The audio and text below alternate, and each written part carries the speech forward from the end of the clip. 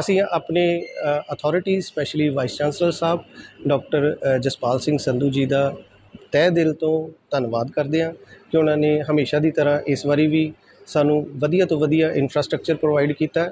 ਜਿਹਦੀ ਕਿ ਸ਼ਲਾਘਾ ਕਰਨਲ ਪਵਨਦੀਪ ਸਿੰਘ ਬਲ ਜੀ ਨੇ ਵੀ ਸਪੈਸ਼ਲੀ ਕੀਤੀ ਹੈ ਔਰ ਉਹਨਾਂ ਨੇ ਵਾਈਸ ਚਾਂਸਲਰ ਸਾਹਿਬ ਦਾ ਥੈਂਕਸ ਵੀ ਕੀਤਾ ਹੈ। ਤੇ ਇਹ ਹੋਰ ਵੀ ਅਥਾਰਟੀਆਂ dean student welfare dean academic affairs registrar ਸਾਹਿਬ ਅਸੀਂ ਸਭ ਦਾ ਹੀ ਧੰਨਵਾਦ ਕਰਦੇ ਹਾਂ। ਹੈਲੋ ਸਰ ਸਤਿ ਸ਼੍ਰੀ ਅਕਾਲ ਜੀ। ਸਤਿ ਸ਼੍ਰੀ ਅਕਾਲ ਜੀ।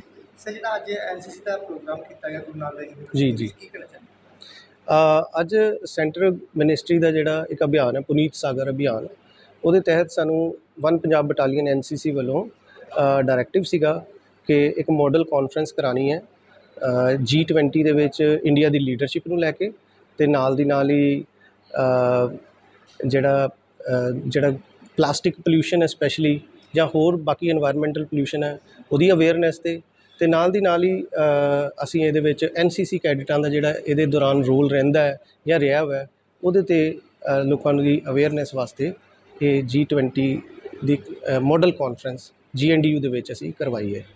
ਇਹਦੇ ਵਿੱਚ ਸਾਡੇ ਯੂਨੀਵਰਸਿਟੀ ਦੇ ਤਿੰਨ ਕੈਡਿਟਸ ਨੇ ਸਪੀਚ ਦਿੱਤੀਆਂ ਨੇ ਵੱਖਰੇ ਵੱਖਰੇ ਟੌਪਿਕਸ ਤੇ ਤੇ ਸਾਡੇ colonel Pawandeep Singh Bal Sena medal, one Punjab battalion ਦੇ, ਉਹ ਇੱਥੇ ਪਧਾਰੇ ਨੇ। ਉਹਨਾਂ ਨੇ ਬੱਚਿਆਂ ਨੂੰ ਬਹੁਤ ਸਭ ਤੋਂ ਪਹਿਲਾਂ ਪ੍ਰੋਤਸਾਹਿਤ ਕੀਤਾ ਔਰ ਉਹਨਾਂ ਨੂੰ ਕੰਗ੍ਰੈਚੁਲੇਟ ਵੀ ਕੀਤਾ ਇੰਨੀ ਅੱਛੀ ਕਾਨਫਰੰਸ ਕਰਾਉਣ ਤੇ। ਸਰ, ਜਿਹੜੇ ਕਿ ਐਨਸੀਸੀ ਵਾਲੇ ਬੱਚੇ ਹੈ, ਇਹਨਾਂ ਕੋਲੋਂ ਵਾਤਾਵਰਨ ਨਾਲ ਸੰਬੰਧਿਤ ਕੋਈ ਕੰਮ ਵੀ ਰਹਿ ਜੀ, ਅਸੀਂ ਇੱਥੇ ਪਲਾਂਟੇਸ਼ਨ ਦੀਆਂ ਵੀ ਡਰਾਈਵਸ ਕਰਾਉਂਦੇ ਹਾਂ, ਸਵੱਛ ਭਾਰਤ ਦੇ ਤਰ, ਤਹਿਤ ਵੀ ਅਤੇ ਹੋਰ ਵੀ ਜਿਸ ਤਰ੍ਹਾਂ ਜਿਸ ਤਰ੍ਹਾਂ ਸਾਨੂੰ ਸੈਂਟਰਲ ਗੌਰਮੈਂਟ ਦੇ ਡਾਇਰੈਕਟਿਵਸ ਆਉਂਦੇ ਆ ਜਾਂ ਕਈ ਨੁੱਕੜ ਨਾਟਕ ਐਸੇ ਰਾਈਟਿੰਗ ਇਸ ਤਰ੍ਹਾਂ ਦੇ ਕਈ ਤਰ੍ਹਾਂ ਦੇ ਕੰਪੀਟੀਸ਼ਨ ਦੇ ਤੌਰ ਤੇ ਵੀ ਔਰ ਉਸ ਤਰ੍ਹਾਂ ਵੀ ਅਸੀਂ ਇਹੋ ਜਿਹੀਆਂ ਐਕਟੀਵਿਟੀਜ਼ ਕਰਾਉਂਦੇ ਰਹਿੰਦੇ ਹਾਂ, ਜਿਹਦੇ ਨਾਲ ਐੱਨ ਸੀ ਸੀ ਦੇ ਕੈਡਿਟਸ ਅਤੇ ਨਾਲ ਦੀ ਨਾਲ ਹੋਰ ਸਟੂਡੈਂਟਸ ਜਿਹੜੇ ਆ ਉਹਨਾਂ ਦੇ ਨਾਲ ਪੜ੍ਹਨ ਵਾਲੇ, ਉਹਨਾਂ ਨੂੰ ਇਹਦੀ ਅਵੇਅਰਨੈਸ ਹੁੰਦੀ ਹੈ। ਸਰ, ਅੱਜ ਐਨਸੀਸੀ ਦੇ ਬੱਚਿਆਂ ਨੂੰ ਪ੍ਰੇਰਿਤ ਕਰਨ ਵਾਸਤੇ ਕਿਹੜੇ ਗੈਸਟ ਆਏ ਸੀ? ਸਭ ਤੋਂ ਪਹਿਲੇ ਤੇ ਕਰਨਲ ਪਵਨਦੀਪ ਸਿੰਘ ਬਲ, ਸੈਨਾ ਮੈਡਲ, ਉਹ ਇੱਥੇ ਪਧਾਰੇ ਸੀਗੇ। ਉਹਨਾਂ ਨੇ ਪਹਿਲੋਂ ਐਡਰੈਸ ਕੀਤਾ ਸਟੂਡੈਂਟਸ ਨੂੰ। ਫਿਰ director placement doctor Amit Chopra ji, ਉਹ ਵੀ ਉਹਨਾਂ ਨੇ ਵੀ ਇਹਦੇ ਵਿੱਚ ਆਪਣਾ ਪ੍ਰੈਜ਼ੈਂਸ ਦਿਖਾਈ। ਉਹਨਾਂ ਨੇ ਬੱਚਿਆਂ ਨੂੰ ਪ੍ਰੋਤਸਾਹਿਤ ਕੀਤਾ।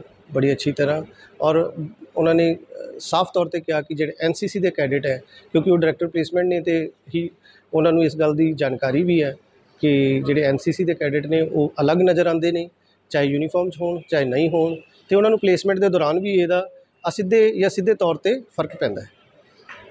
ਸਰ ਐਨਸੀਸੀ ਦੇ ਬੱਚਿਆਂ ਵਾਸਤੇ ਅੱਜ ਰਿਪਲੇਸਮੈਂਟ ਦਾ ਕੋਈ ਇਦਾਂ ਦਾ ਪ੍ਰੋਗਰਾਮ ਕੀਤਾ ਐਨਸੀਸੀ ਦੀ ਪਲੇਸਮੈਂਟ ਜਿਹੜੀ ਹੈ ਉਹ ਅਸੀਂ ਇਸ ਤਰ੍ਹਾਂ ਡਾਇਰੈਕਟਲੀ ਨਹੀਂ ਕਰਦੇ, ਲੇਕਿਨ ਐਨਸੀਸੀ ਦੀ ਇੱਕ ਡਾਇਰੈਕਟ ਐਂਟਰੀ ਹੁੰਦੀ ਹੈ, ਜਿਹੜੀ ਕਿ ਜਿਹਦੇ ਵਿੱਚ ਜਿਹੜੇ ਸੀ ਸਰਟੀਫਿਕੇਟ ਹੋਲਡਰ ਬੱਚੇ ਨੇ, ਉਹਨਾਂ ਨੂੰ ਕੋਈ ਵੀ ਹੋਰ ਟੈਸਟ ਨਹੀਂ ਦੇਣਾ ਪੈਂਦਾ ਤੇ ਉਹ ਸਿੱਧੇ ਐਸਐਸਬੀ ਇੰਟਰਵਿਊ ਦੇ ਵਿੱਚ ਜਾ ਸਕਦੇ ਆ।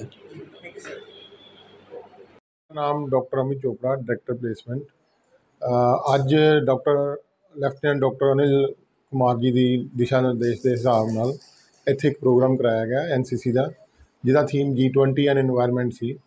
ਅਤੇ ਗੁਰੂ ਨਾਨਕ ਦੇਵ ਯੂਨੀਵਰਸਿਟੀ ਦੇ ਵਾਈਸ ਚਾਂਸਲਰ ਸਾਹਿਬ ਦੇ ਦਿਸ਼ਾ ਨਿਰਦੇਸ਼ਾਂ ਅਤੇ ਡਾਕਟਰ ਅਨਿਲ ਦੇ ਸਹਿਯੋਗ ਨਾਲ ਅੱਜ ਵਨ ਪੰਜਾਬ ਬਟਾਲੀਅਨ ਨੇ ਇੱਕ ਪ੍ਰੋਗਰਾਮ ਐਨ ਸੀ ਸੀ ਦਾ ਕਰਾਇਆ, ਜਿਹੜਾ ਬਹੁਤ ਹੀ ਅੱਛਾ ਬੱਚਿਆਂ ਨੇ ਸ਼ਿਰਕਤ ਕੀਤੀ ਔਰ ਬੱਚੇ ਵੈਲ ਡਿਸਪਲਿਨਡ ਸੀ ਔਰ ਉਹਨਾਂ ਨੇ G20 ਦੇ এনवायरमेंट ਬਾਰੇ ਬੜੀ ਅਵੇਅਰਨੈਸ ਕੀਤੀ। ਇਹਦੇ ਚ ਪੇਪਰ ਵੀ ਉਹਨਾਂ ਨੇ ਕੁਝ ਪੜ੍ਹੇ ਆਪਣੇ ਤੇ ਉਸ ਤੋਂ ਬਾਅਦ ਜਿਹੜੇ ਅੱਛੇ ਸਟੂਡੈਂਟ ਸੀ, ਉਹਨਾਂ ਨੂੰ ਇਨਾਮ ਵੀ ਦਿੱਤੇ ਗਏ।